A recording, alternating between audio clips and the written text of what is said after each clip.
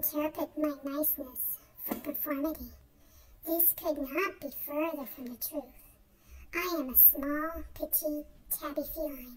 I cannot go around and muscle my subjects into bending to my whims like you. You're a big, strong ginger male with sharp claws. I have to rely on my cuteness and throw them off guard. We, my dear cousin, have the same plan. We shall take over the world.